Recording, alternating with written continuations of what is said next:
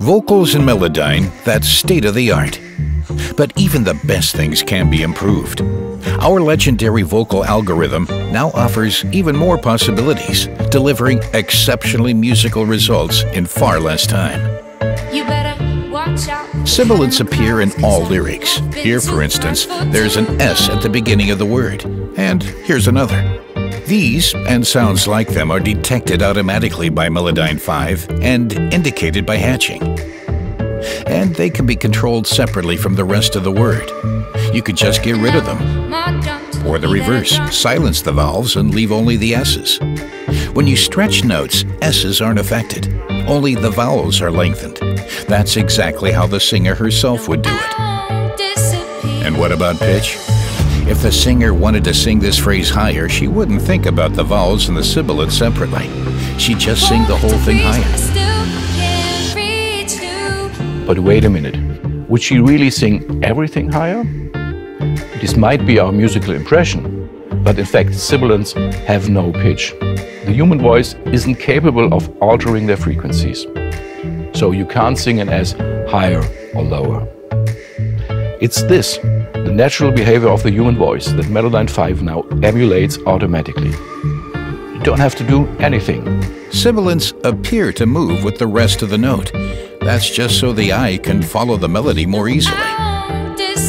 But acoustically, Melodyne leaves any S's unchanged, whatever the new pitch of the note. So it all sounds natural. Breaths, too, are given special treatment. This one, for example. Here too, when pitch shifting occurs, the only change is visual, not acoustic. With timing though, it's a different story. Melodyne doesn't draw out sibilants or unvoiced consonants because no singer ever does that. But singers do take shorter breaths when notes follow in quick succession, so Melodyne does adjust the length of the breath between two notes, when the space between them is reduced. With Melodyne 5 you save an enormous amount of time. Before you had to isolate every sibilant by hand from the rest of the word. One by one, throughout the song, a whole lot of mouse clicks. No more need for that.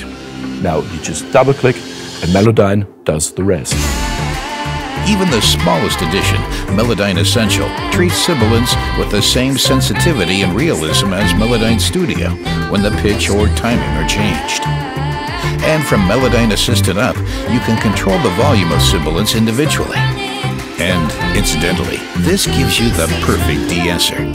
Intervene directly to control problematic S's without all that time-consuming fiddling about with automation. Or you can de-ess an entire passage, like this. And unlike conventional de-essers, you really do only change the S's, with no side effects whatsoever on the rest of the vocal sound.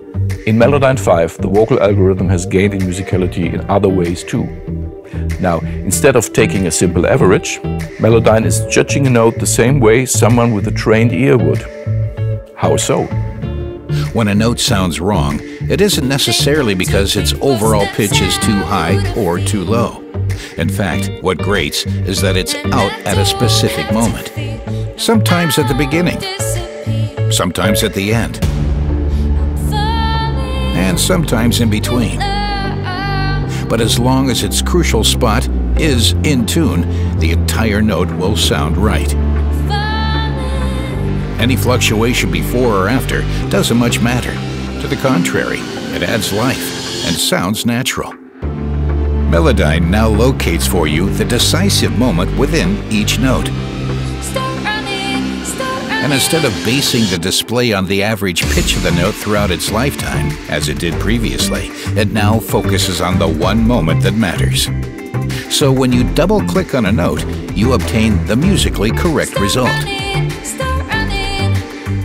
The Macro 2 profits from this musical approach, placing every note perfectly in tune, still sounding natural and alive. And of course, the macro knows exactly where the breaths, sibilants, and other unvoiced consonants lie, and leaves their sound untouched.